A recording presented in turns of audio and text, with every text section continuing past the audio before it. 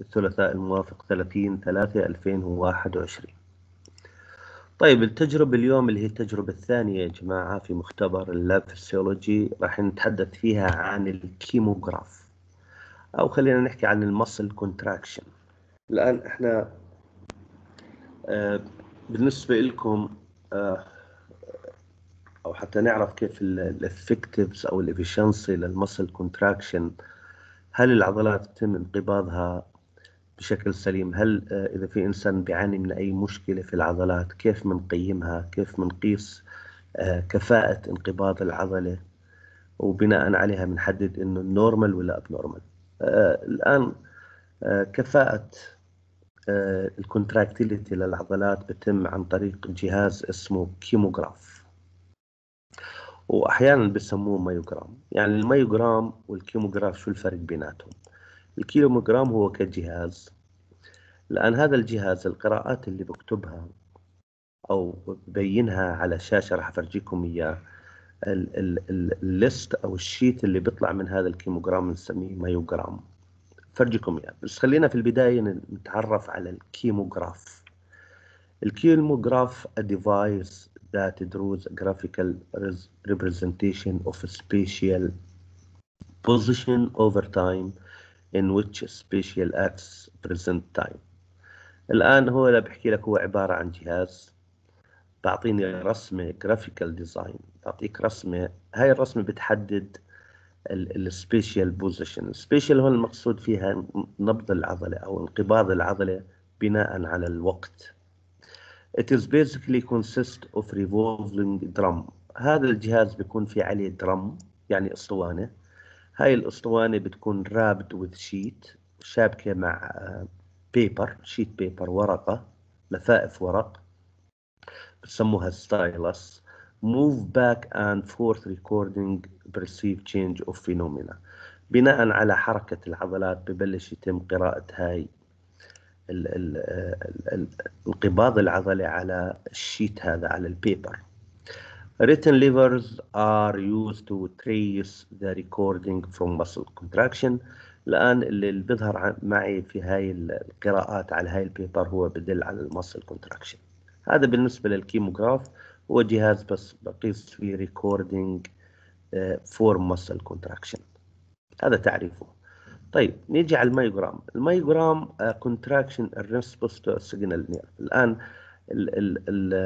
انقباض العضلة اللي تم تم بواسطة single nerve يعني العضلات دائما حتى تنقبض بتحكم فيها ال nerves وإذا اخذته في ال anatomy بسموه آه اللي هو ال somatic nerve الآن ال nerves هي اللي بتعطي أمر action potential حتى يتم فيها آه، انقباض العضلة. ال action potential وصوله مسؤول عن إفراز الكالسيوم في العضلة وبالتالي بيؤدي إلى ال muscle contraction هذا ال muscle contraction اللي بحدث آه، على ال paper هاي اللي بترسمه في ال kymograph بنسميه myogram الآن a muscle contraction in response to a single nerve action potential is called twitch contraction. الآن هاي عندي مصطلح جديد اسمه twitch contraction. اللي هو انقباض العضلة لأول مرة. أول انقباض أول إشارة تعطى من ال kymograph بنسميها twitch contraction طيب ال myogram هو a graph of muscle الآن الرسمة راح فرجيكم إياهم الرسم البياني اللي بيظهر على اللي بيحسبوا ال kymograph أو بشير إليه ال kymograph لانقباض العضلة. لأول مرة بنسميه twitch contraction آه هذا بنسميه myogram اللي هو graph بكون رسم بياني ببين فيه انقص ستريت آه، tension اللي هو انقباض العضلة with the time مقارنة مع الوقت. طبعا ال myogram هنا انقباض العضلات بيكون له show several phases بيكون في له عدة مراحل وراح نقرأ هاي المراحل. طيب خلينا نفرجيكم مثال عليها قبل ما نشرح المتبقية. خليني أقدم شوي لقدام حتى أفرجيكم عن إيش أنا بتكلم. بتكلم عن هذا يا جماعة. هذا الجهاز myogram هذا ال kymograph. ال kymograph هذا بتم توصيله طبعا بتأخذوا فيه دورات خصوصا لطلاب العلاج الطبيعي أو الأشعة. بأخذوا فيه دورات. آه، كيف بتم ربط هذا الجهاز بالعضلة؟ وهنا بيظهر معنا ال sheet شاشة. آه هاي ال device بتظهر معي ال contractility للعضلة. هذا بنسميه myogram ال waves هاي اللي بتظهر. نتيجة قراءة ال kymograph بنسميها myogram طبعا waves تظهر بهذا الشكل. هذا ال waves هذا ال graphic design بنسميه myogram أما الجهاز اللي قاس هاي الانقباض العضلي بنسميه kymograph. هذا الفرق ما بين ال myogram وال kymograph. طيب نكمل. الآن في مصطلحات بخصوص ال lab ال muscle أو ال kymograph لازم نتعرف عليها حتى بكرة تكون قادر على قراءة ال myogram الخاص بال contractility للعضلات في عندي شيء بسموه frequency of stimulus اللي هو آه، أو stimuli اللي هو المؤثر الدائم. It is if stimuli are repeatedly applied. إذا كان مؤثر يعني ال action potential على العضلة كان متكرر هذا بيؤدي إلى دخول أيونات الكالسيوم.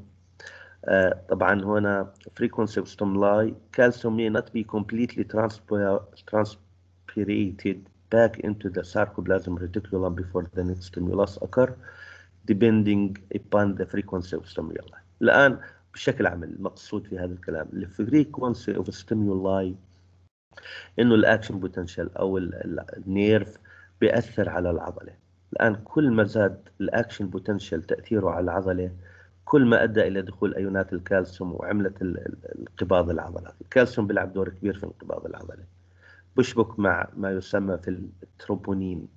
راح افرجيكم إياه. الآن كل ما زادت حده هذا ال stimuli ممكن إنه العضلة ما ترجع لل relax.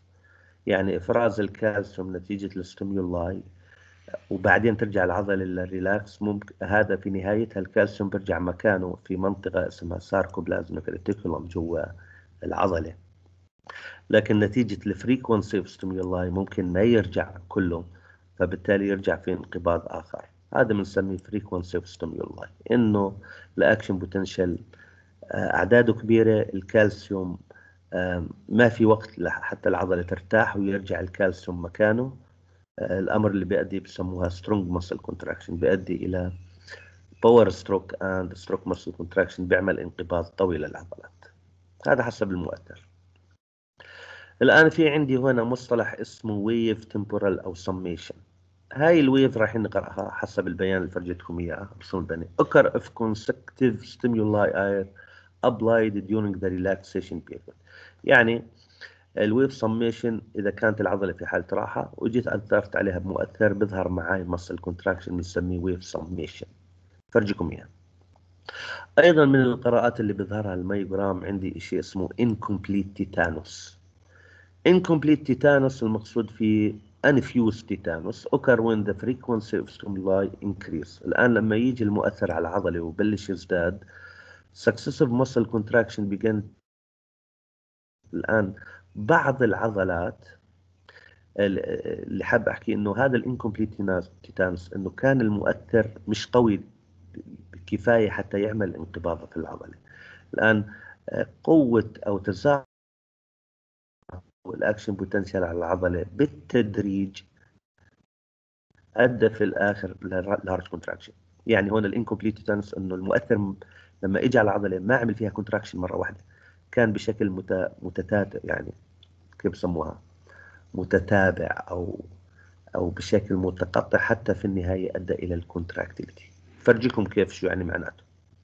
الان المصطلح الآخر ال complete tetanus هنا عكس ال incomplete هنا هنا حصل ال tetanus أو حصل كان ال stimulus قوي بحيث إنه عمل مرة واحدة عندي large muscle contraction هاي بالنسبة للمصطلحات اللي لازم نعرفها. إذا نرجع نعرف شو معناه kymograph myogram frequency of stimuli uh, wave summation incomplete tetanus complete tetanus. الآن راح أفرجكم إياها. أيضا في مصطلحات أخرى عندي في في علم العضلات أو قياس كفاءة العضلات. في عندي شيء اسمه muscle tone. ال muscle tone is any relaxed skeletal muscle. الآن أي relaxation في العضلة بعد ما يصير لها contraction لما ترجع العضلة لحالة ال relax هذا بنسميه muscle tone okay؟ In any relaxed skeletal muscle a smaller number of contraction continuously occur okay in any relaxed skeletal muscle. في اي عضلة. مهما كانت relax بظل هنالك still في contractile لكنها بتكون بسيطة. في حالة ال relax يعني العضلة ما بتكون في حالة relax تام لا. بيكون في عندي شوية contractility قائمة داخل العضلة. ال muscle fatigue ال muscle fatigue إعياء العضلة. المقصود فيه muscle fiber stop contraction. الآن إذا العضلة وصلت لمرحلة بأنها نتيجة الإجهاد اللي عليها بطلت يصير فيها contractility. muscle fiber stop stop contraction. العضلة بطلت تنقبض بنسميها muscle fatigue. شو الناتجة؟ ناتج عن إيش؟ ناتج عن ال inadequate amount of ATP الآن الطاقة طبعا ال muscle عبارة عن انقباض عضلات وال ATP بيلعب دور كبير في انقباض العضلات. فرجيكم كيف؟ الآن عدم كفاية ال ATP نتيجة الضغط المتواصل على العضلة بيؤدي إنه العضلة تبطل فيها contractility وهذا بسموه ال fatigue أي إنه العضلة ظلت في حالة آه خلينا نسميها انقباض دائم ما رجعت لل relax أو إنها ظلت في relax بطلت ترجع تنقبض. الآن ال lack of طبعا ال ATP بكون ناتج عن الأكسجين. أخذتوا أنتم الجلوكوز مع بوجود الأكسجين هو بيعمل ال ATP فعدم انقباض العضلة هذا بنسميه muscle fatigue الآن إذا الأكسجين مش كافي لوصل العضلة آه، بلجا الجسم إنه يستخدم السي أو 2 إذا استخدم السي أو 2 الجلوكوز بتحول مع 2 إلى lactic acid اللي هو الحامض اللبني. هذا بنسميه muscle fatigue نيجي على ال muscle twitching كلمة muscle twitching شو يعني muscle twitching اللي هي muscle fasciculation اللي هو أول انقباض في العضلة. twitching involve small muscle contraction هو أول انقباض في العضلة. بسيط هذا بنسميه muscle twitching راح نفرجيكم إياه. طيب شو في كمان عندي؟ Common use of muscle ما بدناش إياها هاي. الآن اللي بيلعب دور في انقباض العضلات يا جماعة ال vitamin D vitamin B الكالسيوم هاي كلها بتلعب دور في انقباض وتغذية العضلات. okay. آه، في حالة ال dehydration إذا صار عندي حالة dehydration can cause muscle contracting and which especially in the body large muscle. الآن إذا ال dehydration إذا واحد صار عنده جفاف هذا بيؤدي automatically إلى انقباض العضلات. Anyway هاي cases ممكن تؤدي إلى انقباض العضلات. النيكوتين ال cigarette أيضا بيؤدي إلى ال muscle twitching في العضلات دائم بيعمل. يعني إذا دائما المدخنين بتلاقي العضلات عندهم منقبضة بشكل مستمر. أوكي anyway أنا بدي أركز على اللي بدي إياها. عندي هنا the latent period of the muscle contraction. تعرف على latent period latent period هو refer to the very short period. هو عبارة عن فترة بسيطة من الوقت between when muscle receive the electrical impulse. هي الفترة اللي ببلش فيها العضلة تستقبل ال action potential من ال nerve وتبدأ في الانقباض يعني بعدها ما انقبضت. هي المرحلة الأولى في إنه العضلة تستقبل ال action potential اللي هو ال electrical impulse وتبدأ تنقبض. طيب لما بنحكي muscle contraction المقصود فيها هو الوقت the time between stimulus to nerve and contraction of the muscle. هو الفترة اللي بيكون فيها العضلة بتستقبل ال stimulus من ال nerve الآن في عندي كلمة tetany شو معنى tetany؟ tetany a condition marked by intermittent muscular spasm. tetany معناته ألام في العضلات. muscular spasm. هاي سببها malfunction of the اللي هي بسبب ال parathyroid gland ال parathyroid gland تلعب دور كبير في تخزين الكالسيوم في الجسم. فإذا صار عندي أي مشكلة deficiency في الكالسيوم نتيجة مشكلة في ال parathyroid هاي بتعمل عندي tetany. tetany يعني ألم في العضلات muscular spasm اللي هو العضلة بتظلها دائما منقبضة.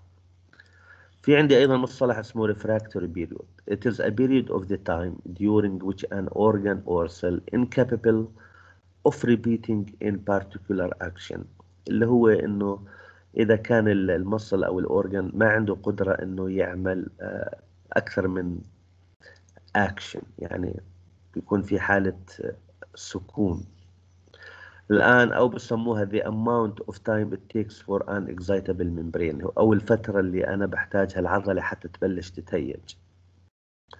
وبتكون ال second stimuli still waiting يعني باختصار ال refractory period إنه إذا كان عندي أكثر من مؤثر على العضلة المؤثر الثاني بظل ينتظر حتى المؤثر الأول يقوم في ال contractility للعضلة وبعدين بيجي دوره.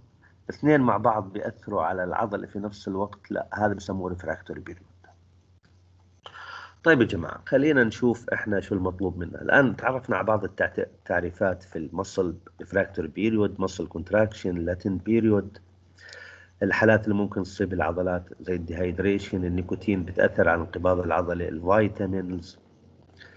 تعرفنا شو معنى tetany muscle twitching تعرفنا شو معنى muscle fatigue muscle tone complete tetanus incomplete tetanus wave summation تعرفنا عليهم كلهم.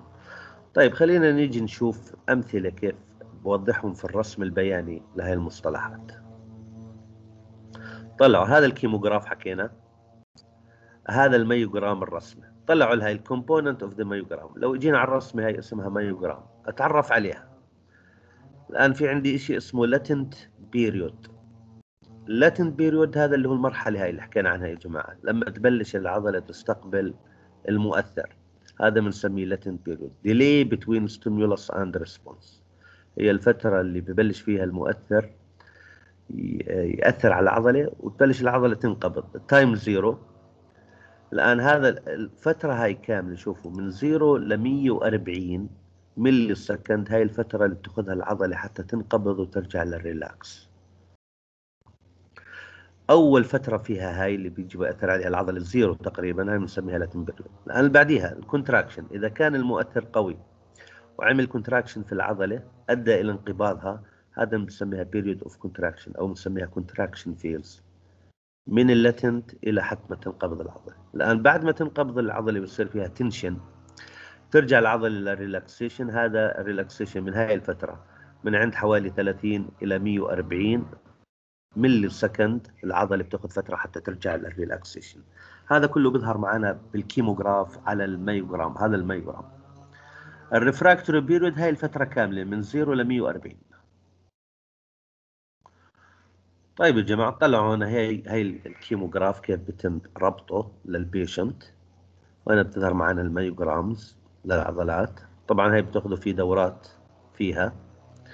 آه هذا الرسم بنسميه ال myogram. وعرفنا إنه لو يجي المؤثر single stimulus كيف بيأثر على الخلية ببلش latent بعدين contraction بعدين relaxation هاي الفترة كلها بنسميها refractory period الآن حكينا هذا لو نيجي نعرف هذه الإشارة ال waves جينا إحنا عملنا ركبنا ال kymograph على العضلة بظهر معي هذا ال wave. هذا ال wave بنسميه muscle twitch single muscle twitch one wave waves واحد موجة واحدة بنسميها muscle twitch أو single muscle twitch الآن هاي ال single الآن ال single muscle fiber contract that occur when the stimulus threshold is reached هذا هو ال muscle twitch هذا يعني هاي الرسمة بتبين معك في ال kymograph لكن بطريقتها بنسميها هيك. هاي بنسميها muscle twitch كاملة. إذا بدي اللي فيها 3 latent اللي فيها 3 period latent contraction و relaxation كلها بنسميها muscle twitch بهذا الشكل تظهر على ال myogram for one contraction. طلعوا هنا لما يكون عندي several comparison of relative duration of twitch response of the three muscle. الآن أنا في عندي انقباض العضلات يا جماعة بيكون مختلف من عضلة لعضلة يعني مثلا عضلة ال extraocular muscle عضلات العين هيك ال contraction فيها. ال gastrocnemius اللي هي المعدة هيك انقباض العضلات فيها. ال soleus اللي هو خلينا نسميه باطن القدم هيك الانقباض فيها. فال نسميه ال twitch muscle هذا اللي هو. muscle twitch بيختلف من عضله لعضله مش كل العضلات بتعطي نفس ال myogram هذا اللي هو ال latent وال muscle relaxation أو ال muscle contraction كل عضلة بتعطي قراءة مختلفة عن الثاني. طبعا بيختلف في تركيب العضلة ونوعها ومكانها. في عندي هذا اللي سميناه يا جماعة incomplete tetanus إنه العضلة المؤثر أكثر من مؤثر كان ضعيف بلشوا يأثروا على العضلة حتى حقق في الأخير ال contractility هذا بنسميه incomplete tetanus. الآن ال complete tetanus أنه كان المؤثر قوي بحيث أنه العضلة انقبضت بشكل مستمر طلع ال stimuli كان قوي وعمل contraction طويل وبعدين رجعت للعضلة لل relax هذا بنسميه complete tetanus. إنه العضلة انقبضت لكن أخذت فترة طويلة في الانقباض. هنا لا هنا أكثر من مؤثر ظل ياثر على العضلة حتى في الآخر حقق لي ال contractility للعضله فرق بيناتهم complete دكتور نعم. في عليهم example مش فاهم. في عليهم example هدول؟ آه هلا برجيكم إياه. الآن بس بدي إياكم تعرفوا شوي عن الرسومات هاي. يكون عندكم background هاي رسمة ثانية للعضلة. بإمكاننا نأخذ جهاز ويعطيني نفس ال contractility هذا بنسميه summation complete tetanus incomplete tetanus. ال fatigue طلعوا كيف ال incomplete tetanus بعطيني هذا ال incomplete هذا ال complete tetanus انقبضت بشكل مستمر. هذا ال fatigue ال fatigue إنه العضلة بطلت عندها القدرة إنه يصير فيها contraction ترجع لل relax هاي أيضا صورة أخرى لل fatigue الآن بعض المشاكل ممكن تواجه بعض الناس طبعا اللي هو المرض هذا. المرض هذا نعم. هلأ قصدك إنه ال muscles لما ما يكون فيها contraction هي نفس لما يكون muscle spasm نعم muscle spasm لا ال muscle spasm يا جماعة إنه العضلة انقبضت وما رجعت relax ال muscle spasm إنه العضلة مشدودة وبدها relaxation أما ال fatigue لا العضلة ما عندها القدرة إنه يظل إنها تنقبض. إنه صار فيها يعني اعياء دكتور طب في هاي الحالة بنفذ ال ATP صح؟ في أي مرحلة؟ في مرحلة ال- ال spasm؟ ال spasm نعم. بنفذ ال ATP وببلش يتكو- يتكون عندك ال lactic acid. الأمر اللي بيؤدي ال lactic acid لشعور في الألم والحرق مكان أيوة، أيوة. الإصابة. نعم. هذا ال spasm. ممتاز السؤال. spasm إنه العضلة ظلت منقبضه فرغ منها ال ATP نتيجة آه، طول انقباضها. الآن ببلش تستخدم ال CO2 في الخلية وتحول يلاحق نعم.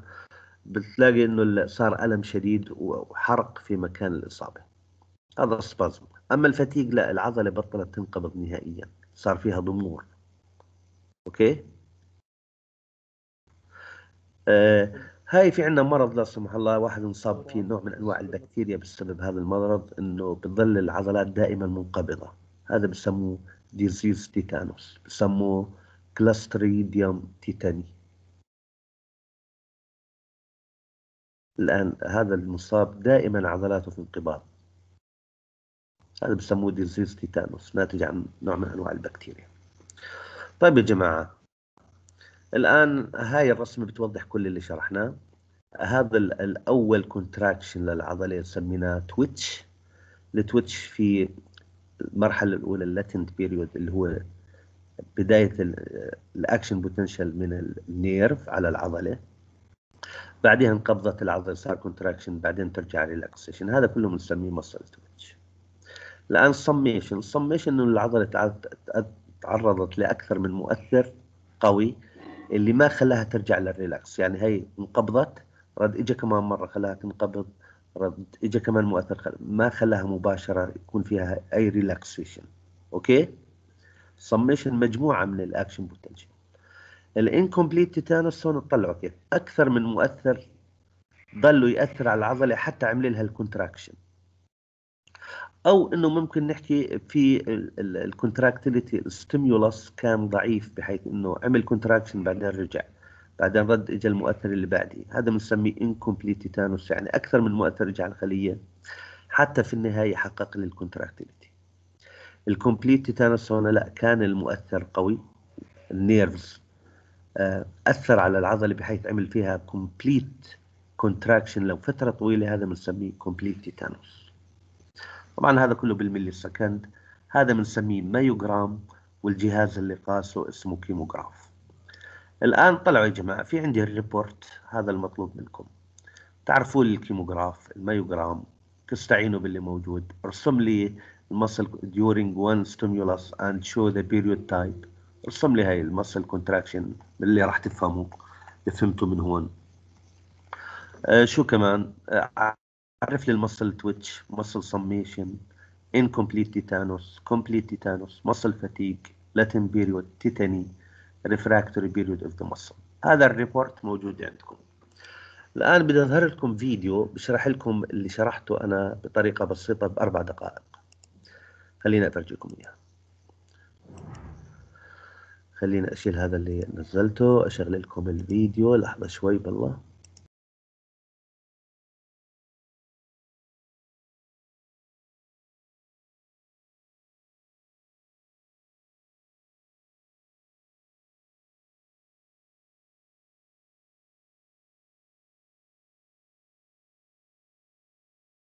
طيب يا جماعة خليني أنا أفرجيكم الفيديو. ظهرت الشاشة ولا لا يا جماعة؟ آه ظهرت دكتور. ظهرت. طيب هذا الفيديو أربع دقائق. خليكم معي آه، أحضروه لنهايته أوكي؟ أبدأ أشغله. آه دكتور بلش.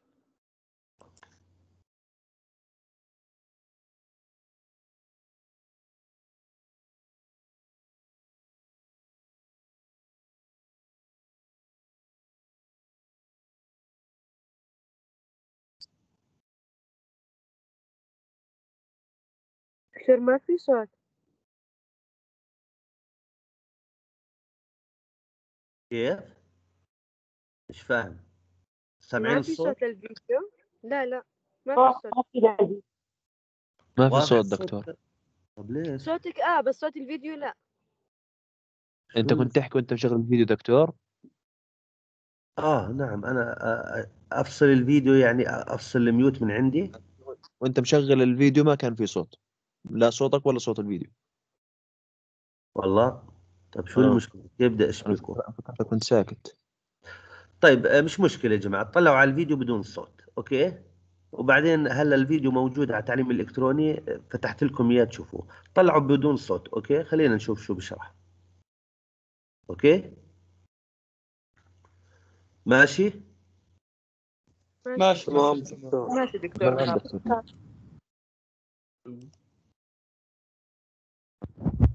بس لحظة شوي بالله خلينا أتأكد من شغلة جزء أنا من عندي السماعات مش واضحة. لا السماعات شغالة.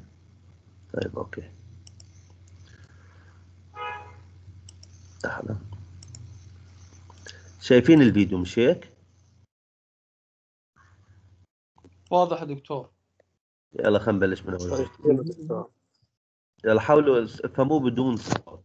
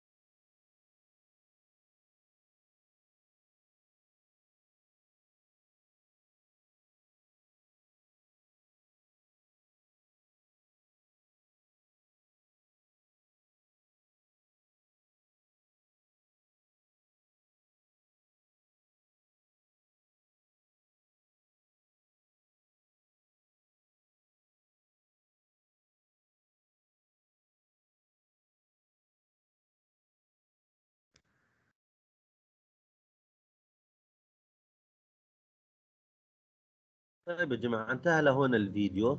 الآن أنا راح أنزلكم إياه إن شاء الله على احكوا معي على ال- التعليم الإلكتروني. الآن المطلوب منكم يا جماعة زي ما حكينا المطلوب تحلوا لي ال report okay؟ تمام. ال report اللي فرجيتكم إياه قبل شوي okay؟ في حدا عنده أي سؤال؟ في أي سؤال يا جماعة؟ لا دكتور أنا ما عندي. ولا أي سؤال. نعم حاول بالله ارجعوا على الفيديو هذا اللي عرضته قبل شوي. بدخل اسمعوه هو أربع دقائق موجود برضو على التعليم الإلكتروني. حتى تفهم شو معنى tetanus شو معنى incomplete tetanus شو معنى complete tetanus summation muscle twitch latent contraction period relaxation period. okay؟ وتميز ما بين ال kymograph وال myograph. حتى لما بكرة إن شاء الله تيجوا على التطبيق العملي يكون عندكم فكرة بس شو معنى المواضيع هاي بعدين تبلشوا تشتغلوا فيها وتفهموها بشكل أكبر. بس هون إحنا ال- الهدف من هذا ال- المختبر إنه نزودكم بالمعرفة بالمفاهيم هاي المتعلقة بال kymograph وال muscle contraction الله يعطيك العافية دكتور. الله يعافيكم يا جماعة. إذا ما في أسئلة السلام عليكم. بشوفكم إن شاء الله الأسبوع القادم. تفضل. سلام آه، دكتور. محاضرات PDF ولا كيف؟ مش فاهم. ال reportات والمحاضرات آه، نزلوا PDF على التعليم الإلكتروني ولا لا؟ طبعا يا زلمة. أنت عمرك ما دخلت على التعليم الإلكتروني ليث؟ لا لا دخلت عليه بس أنا لأنه م- معجوق ب- كنت ناسي شوي أنا اسف تدخل على التعليم الإلكتروني بتلاقي ال- ال- ال report على شكل PDF بتلاقي ال record للمحاضرة هاي اللي إحنا عملناها اليوم.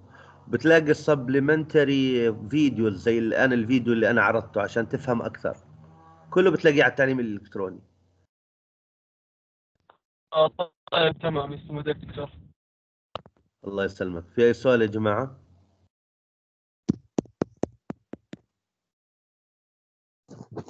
يعطيك العافية دكتور. الله يعافيك يا رب. ماشي يا جماعة يعطيكم العافية. السلام عليكم.